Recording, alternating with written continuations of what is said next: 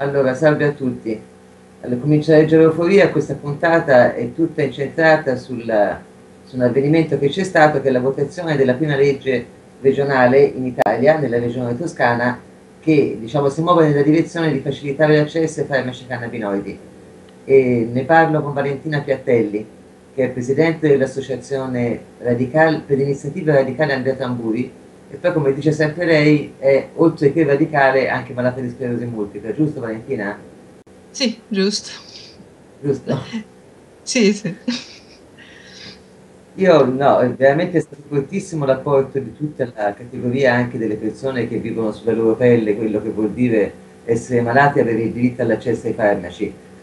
E è, è interessante questo aspetto perché comunque si è equalizzato insieme sia un lato politico ma anche un lato emotivo e umano, perché poi comunque questa cosa è stata dedicata a Alessia Ballini che ha dedicato gli ultimi anni della sua vita appunto per questa battaglia. Io volevo ricordare insieme a te anche un'altra persona che ha portato avanti questa battaglia fin dall'inizio che è Pino Cucci, che tu conosci bene sì. e che quindi conosci bene, conosci bene e quindi magari ci fa certo. piacere ricordarlo e ricordare te quando l'hai conosciuto Pino? Ma ormai sono parecchi anni, sarà ma perché io ho una mailing list di malati di sclerosi multipla dal 96 e l'ho conosciuto lì. Ora non so, qualche anno dopo, eh, però insomma era prima nella mailing list. Poi è stato lui, a, vabbè, avevo letto qualcosa sulla cannabis terapeutica, però è stato il primo che ho conosciuto che la usava, ecco, e se ne è interessato proprio.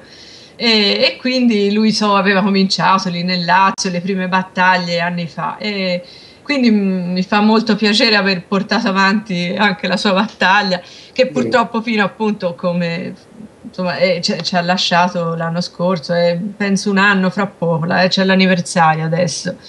E, sì, io ho conosciuto Pino insieme a Alberto Solari e non mi ricordo a qualcun altro siamo andati a trovarlo insieme a casa sua e mi ha tantissimo colpito questo fatto dei biscottini perché lui mi aveva raccontato sì. come lui non aveva mai fumato in vita sua nemmeno le sigarette quindi come metodo di persone la sigaretta non, non, gli piaceva allora la moglie gli faceva biscottini col Bedocan e li sfornava eh, in una ah. maniera particolare diciamo comunque di assunzione della cannabis perché la cannabis poi come farmaco ha una vastissima gamma di eh, oltre che di applicazioni ma anche di preparazioni perché si va dal Sativex per esempio, che è un farmaco completamente sintetico e che si usa per via per spray sottolinguale, addirittura poi c'è il Bedrock, anche quello che abbiamo portato anche in Consiglio regionale l'altro giorno, che sono quelle boccettine che poi dentro contengono la pianta vera e propria, cioè sarebbe, si mm. chiama preparato galenico, però in realtà è la pianta così com'è, le parti apicali che sono quelle che contengono i principi attivi. I fiori, eh.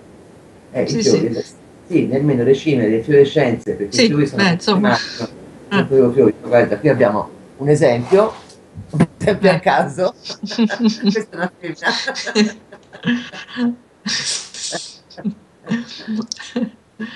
Ci sono tantissime aree di uso, per esempio c'è anche il vaporizzatore, per chi non ha mai fumato sigarette non intende fumare anche il tabacco, c'è anche questo sistema. Te l'hai mai visto questo vaporizzatore? Sì, sì, l'ho visto in occasione del convegno che fecero lì in regione, non l'avevo mai visto neanche io, quello sì.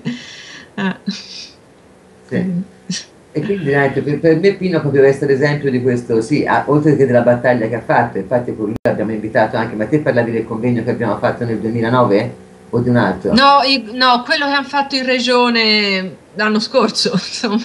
Ah, eh, okay, eh, giu, giugno dell'anno scorso, quello proprio sulle due leggi, per, eh, insomma, prima che decidessero la fusione fu fatto questo convegno per metterla a confronto e lì furono portate anche il vaporizzatore eh, da Alberto Sciolari, aveva trovato, qualcuno glielo prestava. Pazienti cannabis è un altro pilastro sì. della, della cannabis terapeutica. Sicché questa legge che ti hai seguito tutta fin dall'inizio è nata da due proposte di legge, giusto? Una che veniva da Enzo sì. Brogi, che è il gruppo esatto. PD, correggimi te sì, se sbaglio, sì, eh, io magari qualche cosa la confondo ed era quella in memoria comunque di Alessia Ballini, del quale lui racconta tuttora l'amicizia e il fatto che negli ultimi anni lei era costretta a procurarsi la cannabis sul mercato nero, questo l'ha raccontato in regione l'altra mattina, mm, perché sì. non, aveva, non poteva avere accesso e si, ed era l'unica sostanza che l'aiutava a superare i dolori dovuti a una, una situazione di tumore.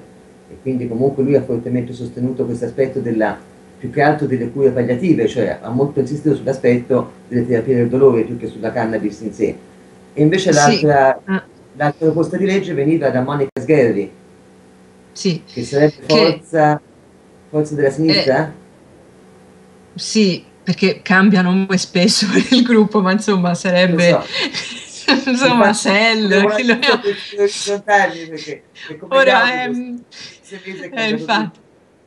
comunque insomma ci siamo capiti il gruppo comunque è sempre eh, poi eh, nella maggioranza adesso e quindi eh, c'era il, il, sostegno del PD anche eh, solo che appunto sulle due leggi mh, su, su, il sostegno del PD era nella forma unificata che è stata fatta dopo. All'inizio era chiaramente per la prima che era stata presentata, che non andava bene secondo noi per vari aspetti, perché come hai detto te appunto puntava tutto sulla questione del, della cannabis per le cure palliative, parlava sempre di fine vita, e somministrazione negli hospice addirittura.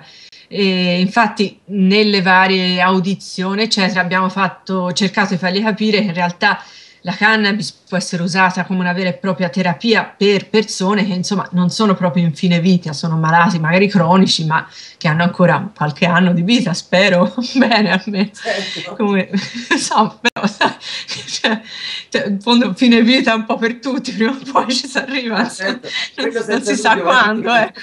Infatti però ecco, c'era... Non era, era chiaro... essere in fin di vita per curarsi con cannabinoide, questo è il eh, discorso. Capito, infatti, eh, e questa cosa qui, chiaramente loro eh, avevano eh, sotto gli occhi la, la, vicenda di Alessia Ballini e, e avevano fatto la legge proprio pensando a quello. Quindi, eh, il convegno è stato organizzato a giugno, poi l'audizione eh, dei malati e dei medici, ma mi ricordo così, eh, hanno eh, ascoltato, a parte medici del CERT, eccetera, ma c'era anche un medico del Maier che diceva ricordatevi anche dei bambini perché può servire anche per loro, insomma, quindi mh, cercare di, eh. proprio di far capire i molti possibili usi di questa sostanza che ha delle proprietà medicinali, ecco, alla fine è questa la, ah, sì, la cosa questo ormai è proprio una cosa assodata, tant'è vero che è in tabella dal 2007 e questo ti dimostra che Infatti. chiaramente al momento che l'hanno messa in tabella vuol dire che hanno fatto tutti gli studi, approfondito tutta la documentazione, se no non ce la mettevano,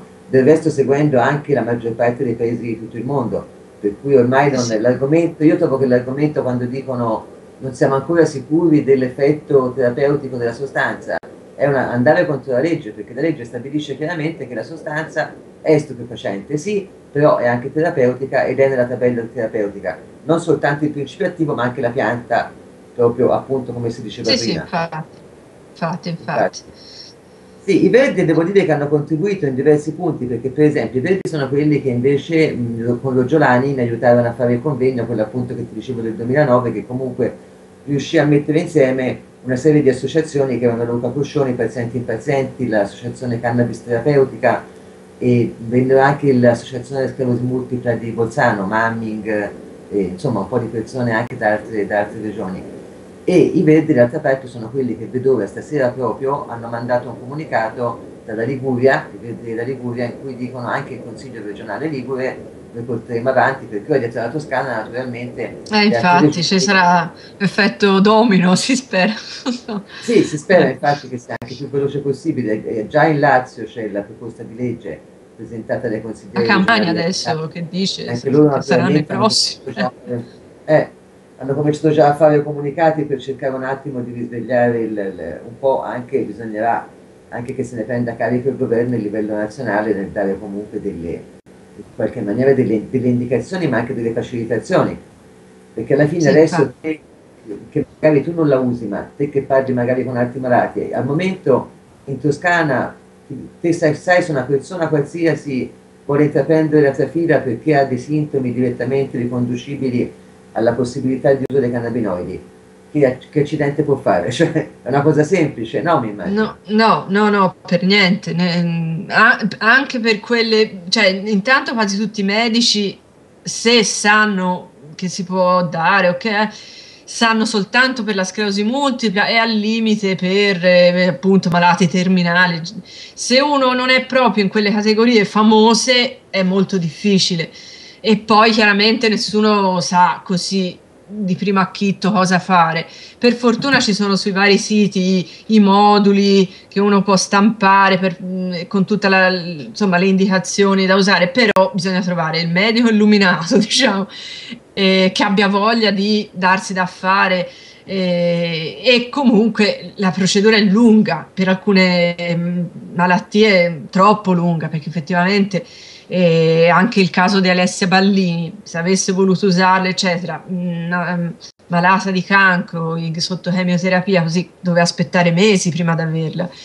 E infatti, proprio oggi Alberto Sciolari, tutto sa di queste cose, dice che la Toscana era una delle regioni peggiori dal punto di vista poi dell'effettiva eh, praticabilità di ottenere la cannabis tramite il, la procedura diciamo usata finora. Quindi eh, c'era particolare bisogno, adesso sembra qua, di questa cosa. Sì, adesso vediamo. Secondo me si tratta di fare anche magari una rete in qualche modo, che poi basterebbe una pagina di un sito web, una rete in cui si può andare sì. regione per regione e trovare un po' i riferimenti. Penso che anche per i medici potrebbe essere interessante esserci su una cosa del genere perché alla fine per loro è anche un, diciamo, un, un target di clientela che si apre, alla fine poi non c'è niente di male se la battaglia politica va insieme anche a quelli che sono gli interessi, gli interessi ah, certo, ben venga, sì, sì, infatti. Sì, perché dico il medico tutto sommato è probabile che ne troviamo poi, se non riusciamo a raggiungerli, più che altro è difficile riuscire a raggiungerli, perché sicuramente fra tutti loro ci sarà una certa percentuale che comunque è interessata a, a diventare in qualche maniera riferimento per chi abbia interesse a curarsi di questo tipo di farmaci. E anche magari mm. un po' di indirizzi di associazioni, queste, te per esempio, eh, questi moduli che si scaricano, sono sul sito dell'associazione Coscioni, per esempio, vero? Mm, ma io l'ho visto su siti di altre associazioni, per la verità. Cannabis Ora non mi ricordo se, eh, se cannabis terapeutica o pazienti impazienti, mi sembra che l'ho visto da loro. Eh. Terapeutica.it, l'altro è eh. eh pazientiimpazienti.it, l'altro. Ah, eh, sì, sì. Eh, ACT, sì. Eh. Siccome è registrato, sì, ora se la guarda eh. qualcuno che cerca i riferimenti, però una volta scaricato il modulo, il passo fondamentale è quello che poi mi chiedono t- tante persone che mi contattano via via mm. durante i mesi, proprio veramente tanti, che sono malati, che mi dicono come faccio?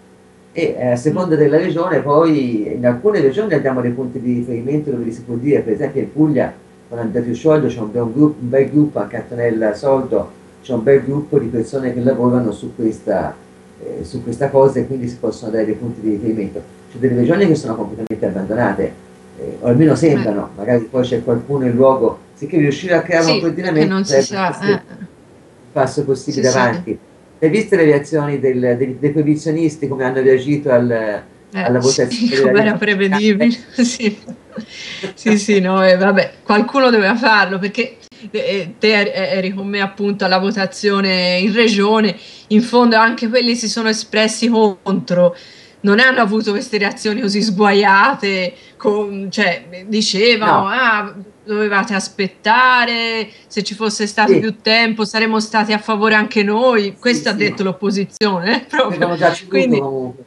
Sì, infatti, giusto quello dell'UDC ha fatto un attacco un po' più appunto sul fatto che eh, non è provato scientificamente, contraddicendosi anche un po', insomma, però mh, anche lui non è che era proprio, cioè non ha certo detto quello che ha detto Gasparri e quell'altro. Insomma, no, no, lui ha giocato un po' sul fatto che non bisogna essere emotivi in politica e c'aveva pure sì, tutte le sue ragioni, infatti veniva col caso degli argomenti razionali. C'era anche l'argomento emotivo, è chiaro, d'altra parte se era successa la vicenda di Alessia, è chiaro che questo ha dato tutto un aspetto emotivo alla cosa, ci mancherebbe, sì. però comunque sì, ci sono anche dei fondamenti razionali perché la libertà di accesso ai farmaci è un diritto ben, ben riconosciuto, insomma non c'è nessun dubbio, questo è un farmaco eh, secondo la legge ministeriale e quindi c'è poco da, c'è poco da discutere. Sì, Caspari ha detto che mai questa legge troverà ricevimento a livello nazionale, io direi che più che mai fino a che c'è lui, però non è che lui sia eterno lì, eh, certo. questa poltrona,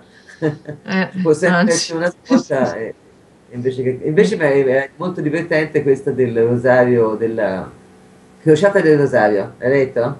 Ah no, que- sì, quello mi è sfuggito, eh, l'ho visto, no? il, centro culturale, il centro culturale Reparto, Valentina, tu non lo sai, sta pregando per noi, ormai da due giorni.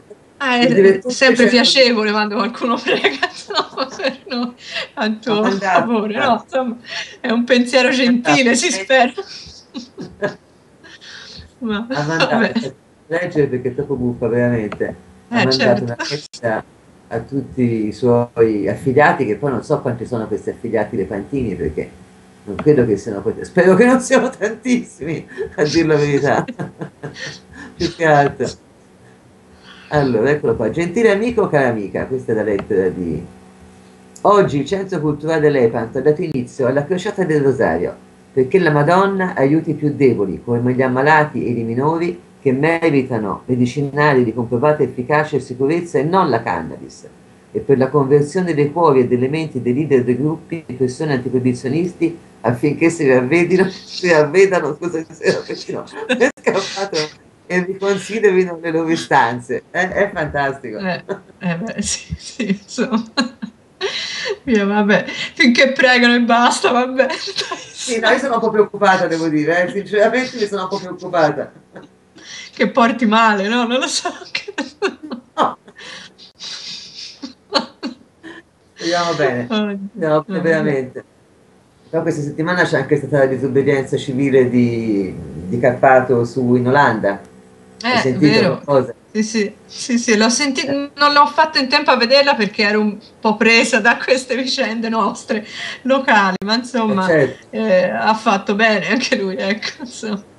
Sì, perché anche in eh. Olanda c'è un governo di centrodestra, mentre la città di Amsterdam è in mano al centro-sinistra, un po' come Firenze, come Firenze e la Toscana eh, in Italia praticamente. In Italia, sì, sì. In questo momento dal punto di vista politico, il governo di centrodestra e dall'altra parte invece il governo locale che è di centro-sinistra e quindi c'è tutto questo aspetto di volere in qualche modo dal livello centrale con la scusa della sicurezza d'altra parte però si bloccano anche delle attività economiche perché l'Olanda comunque c'è un bel giro anche di, di denaro. Eh, di turismo legato.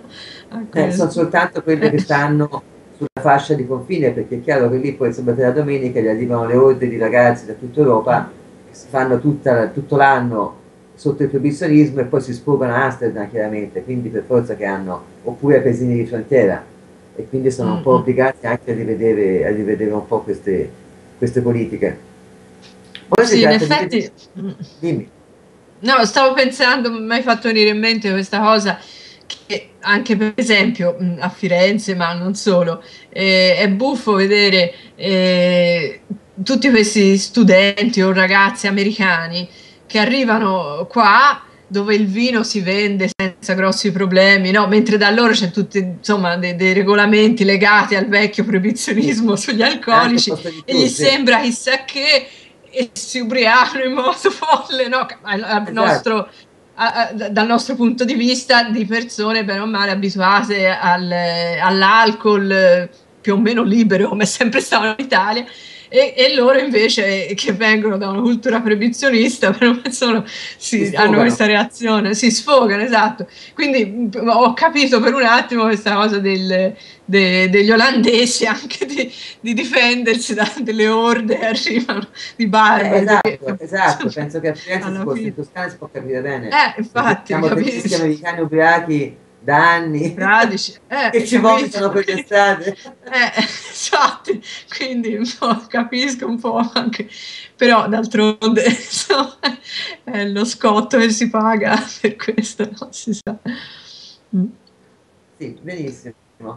E allora, guarda, eh, proviamo un attimo a, a, immaginare quale potrebbe essere il, il futuro poi di questa. Da una parte questa legge bisogna dire che eh, un po' si lamentano i proibizionisti, non vorremmo che fosse il cavallo di battaglia per le battaglie in effetti, in effetti un po' lo è per forza di cose, non perché non lo voglio usare, però per forza di cose eh. lo è, perché a un certo punto poi si applica il principio anche di libertà di cura e di terapia, che puoi benissimo dire, d'altra parte sempre per i malati, ma visto che posso comprarmelo come farmaco, dimmi perché accidente non dovrei poterlo coltivare, perché a quel punto diventa quasi una cosa naturale, visto che la pianta di per sé è considerata terapeutica, sì. sarebbe un po' come impedire di fare la camomilla, cioè no, ti devi prendere il tavolo e non ti puoi fare la camomilla, cioè diventa un po' una mm. cosa, un'arma in questo senso dal punto di vista antiproibizionista.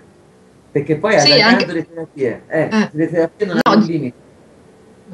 Certo, certo, non ha, infatti, no, innanzitutto secondo me potrà servire, eh, cioè se davvero comincia ad essere usata dai malati, eh, adesso è solo per i casi più gravi, bene o male, insomma, la sclerosi multipla, eccetera, eccetera, non ce l'hanno molte persone per fortuna, no? però eh, certo. durante l'audizione ricordo anche tanti sì, l'epilessia, infatti, sì, sì, però insomma è comunque una cosa che riguarda una percentuale minima di popolazione, non è Ma che... Poi ha detto, non so che dati se lui l'avesse certi, lui ha detto che 200 persone si curano con la cannabis terapeutica in Italia e almeno 1000 sì. se la procurano al mercato nero, non so che dati avesse lui, però li ha dati il Consiglio regionale.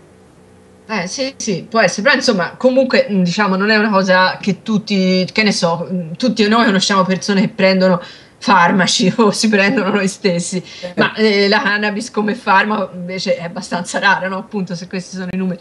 Se eh, si estende l'uso della cannabis come farmaco sarà cioè, più evidente per tutti, per chi non ha mai visto nessuno farsi una canna, che e proprio il fatto che possa essere usata come una medicina che non è, che, cioè, che non è una sostanza sì, eh, che perché è proibita è demonia no? Certo. cioè, soprattutto sdemonizzarla, togliergli quella, quell'alone di, di, cosa che fa paura, chissà. E, boh, da quel punto di vista potrebbe essere, diciamo, utile appunto il cavallo di Troia che temono gli antiproibizionisti, è questo alla fin fine. Eh, sì, anche perché ricordo... Vista... Eh. Dimmi. Sì, sì, no, dicevo, eh, all'audizione eh, Nunzio Santa Lucia, tossicologo del CERT, fece l'esempio proprio di eh, chi la usa al posto degli ansiolitici. Gli ansiolitici danno dipendenza, è solo davvero una droga e, mentre appunto la cannabis non dà dipendenza e può essere usata in certi casi in alternativa a questi. Quindi, per esempio, c'è quindi un uso molto più diffuso in quel caso lì, non è per malattie gravi, ma insomma così eh, capita a tutti di avere un periodo che, in cui magari c'è bisogno di un blando ansiolitico e può essere quello, ecco. Però quello nel futuro, non ora, ecco. No. no, infatti, però è interessante questa legge, è una buona legge tutto sommato perché da due punti di vista è molto aperta, quello, del, quello dell'ammissione della pianta come sostanza proprio di per sé da una parte e la, e la non mettere limite alle, alle, alle, indicazioni, perché se uno mette limite alle indicazioni, cioè appunto uno dice non dormo, l'insonnia e già questa può essere un'indicazione, cioè chiaramente è vero che in questo senso è un cavallo di Troia, perché poi appunto siccome ognuno di noi ha un disagio che può accampare come scusante. Eh, sì. Alla fine Però se ci sentono, quelli, è vero. preventiva. No, infatti, Io però penso cioè, che a questo punto anche molto dovrà essere combattuta a livello locale anche dalle persone direttamente interessate, non perché non debba interessare anche agli altri. Però penso che una volta avviati una serie di regolamenti regionali starà anche localmente a chi è interessato andare a chiederlo e fare una battaglia che sia personale o che sia in un gruppo per ottenerlo. Ci vuole sì, una questione anche di chi deve usarlo. Sì, sì, ora è importantissimo vedere appunto i regolamenti attuativi o quello che sono, come saranno, perché eh, la legge effettivamente così come ora non è che dice tanto di più di quello che già dicevano i vari decreti, eccetera, e, e vedere appunto nell'attuazione come andrà. Quindi quello andrà seguito, eh, du- sarà dura, ma lo faremo ormai. Insomma, no, avanti. D'altra parte, guarda, per esempio in Germania esistono degli ospedali eh, che sono, anche quelli sono specializzati più che altro sulla sclerosi, sono ospedali proprio riservati a questo tipo di malattie più che della sclerosi degenerativa del sistema nervoso in generale e loro coltivano, proprio l'ospedale coltiva al suo terreno e lì coltiva la canapa che usa poi per i medicinali. Eh, Quindi sono tutti, e anche in tanti altri paesi, si sente in Israele per esempio l'hanno usata per i vecchietti negli ospizi, cioè per detti, per le persone anziane delle residenze eh, certo. che è molto meglio dargli la sera, eh, anche, anche artigiana, perché per forza di farsi le canne, i vecchietti, cioè anche in altre maniere, invece che avere, che ne so, le gocce di N e tutti i vari roipinol, tutti i vari psicofarmaci che vengono usati per sedare poi alla fine le persone, molto, poi, poi si arriva al ridicolo che per esempio in carcere, te finisci in carcere perché te hai coltivato una pianta e in carcere ti danno dei psicofarmaci per sedarti, o non si spendeva meno se te la lasciavano fare, no? Ma infatti è proprio l'assurdità completa eh, sì, no, di questa cosa. Piano piano, sì, eh, piano piano è talmente una cosa irrazionale che alla fine salterà fuori mm. obbligatoriamente. È una battaglia che sì, non... Sì. D'altra parte... Ecco, l'unica obiezione che gli si può fare da parte dei proibizionisti è per accusare che possa essere usato come un cavallo di Troia, però d'altra parte questo, oh, eh, d'altra parte questo sta nelle eh, cose eh. che loro trasmettono. Possono fare tutte le crociate del rosario che vogliono. sì, infatti. Eh. Va bene Valentina, io guarda, penso che abbiamo fatto i nostri 25 minuti, è andato tutto bene. C'è qualche altra cosa che ci avevi in mente di voler dire sulla giornata di... che abbiamo vissuto di al Consiglio regionale? Sì, semmai volevo dire una cosa mh, mm, su, su, questa battaglia che abbiamo fatto, un po', cioè dell'importanza di, di informarsi bene su tutte le fasi della cosa, perché diciamo, tutte le, nella mia piccola esperienza, almeno insomma, ormai lunga, ma insomma, tutte le battaglie che ho vinto in qualche modo sono state quelle in cui avevo eh, acquisito una conoscenza dell'argomento abbastanza eh, significativa, perché mh, soltanto in questo modo si riesce poi a ottenere qualcosa di utile davvero. E, e, anche non solo in modo personale, però penso che se si è riusciti a fare questa cosa è stato perché in questo consiglio regionale c'erano parecchie persone che alla fin fine se ne intendevano vari, a vario titolo. Eh, la, è stata importante per esempio la figura di Lucia Matergi, che è sì. una consigliera regionale, che è anche ginecologa, mi sembra, insomma comunque medico, e, e infatti ha capito subito che eh, la prima legge puntava tutto appunto sulle pal- cure palliative di fine vita e così era sbagliata, diciamo, non teneva conto di eh, infatti era carente. Ha capito e è, è riuscita, essendo appunto medico, a farlo capire anche ai suoi colleghi. E poi perché c'era anche all'opposizione una figura come Taradash che non poteva prendere posizione come ha fatto Gasparri, insomma, diciamo, con, essendo ben noto l'argomento in, eh, in, in, parecchie persone, lì, sia del Consiglio regionale, eccetera, si è potuti arrivare a un risultato del genere. Ecco. Sì, sì, sì, sì, sì, sicuramente Tara ci ha fatto anche un bel ah. intervento a favore, è stata una cosa comunque anche questa, anche questa è eh. importante, d'altra parte noi gli, abbiamo, abbiamo, fatto un messaggino minatorio, gli abbiamo detto guarda che siamo in fondo che ti guardiamo. sì, e eh, lui ha, sorriso. non poteva fare diversamente. Eh, no, infatti. No, comunque alla fine poi quelli contrari erano un quarto circa. Sì, appunto, eh, sono, erano, mi sembra 12 o 13, 13 voti contrari su 28 a favore. Poi anche gli astenuti erano, ecco, cioè, quello, questo, eh. il fatto che il PDL abbia lasciato libertà di, di scelta, sì, sì, ha influito su Taradash va bene, però io penso abbia influito anche un po' su uno spostamento un po' di asse, poi alla fine. Ma te sì, sei mica... Visto non ha votato nessuno a favore. Che cosa? Hai visto mica che modifiche hanno fatto? Perché all'ultimo la, l'opposizione ha contrattato alcune piccole modifiche. Io credevo alla legge, invece oggi ho letto che è all'ordine del giorno, non alla sì, legge. perché all'ordine del giorno hanno votato a favore. E sai che non lo so che modifiche sono, perché quello eh, che ho letto è quello definitivo. Ufficiale. Eh, Bisogna aspettare infatti. che esca sulla, sulla gazzetta e vedere un eh, po' sì, cos'è. Sì. Perché infatti li abbiamo visti no, che andavano a parlottare, a confabulare. Eh, infatti, e l'avevano anche annunciato ci ritiriamo prima di dire che ci ritiravano 15 minuti in riunione hanno detto con qualche piccola modifica era già preannunciata la cosa. Quindi avevano proprio eh. una mira per dire fare qualcosa No, infatti, anche, anche, il fatto che abbiamo votato a favore a, a quell'ordine del giorno lì è importantissimo se ci si pensa, insomma, eh, il PDL dico, che vota in un ordine del giorno e comunque meno male invita il governo a, a, a proseguire su questa strada. Eh, ma sai, guarda, poi quando sono esperienze personali, io mi ricordo anche al convegno del 2009, all'ultimo ci arrivò alla porta e venne lì e fece un bel intervento un senatore PDL ora non vorrei dire una scemenza perché non mi ricordo se è una S o una Z, se Saia o Zaia, Saia credo che sia. E lui arrivò perché il fratello è un medico con la moglie malata di sclerosi e che quindi aveva provato proprio in casa poi l'efficacia invece delle, di queste cure e quindi si rendeva conto che comunque non era giusto per un aspetto di proibizionismo e demonizzazione della pianta andare addirittura a toccare i diritti del malato, quindi è una, una cosa liberale, insomma, da parte della centrodestra un Eh, atteggiamento dovrebbe liberale in essere. teoria che si potrebbe anche aspettare, diciamo, Sì, sì, sì, appunto, infatti. campocavallo, ok?